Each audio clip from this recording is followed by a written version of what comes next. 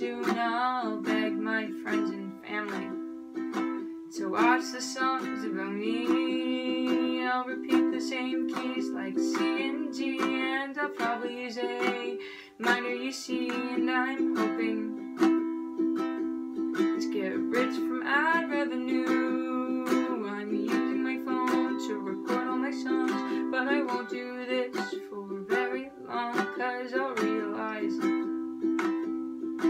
won't get famous by song.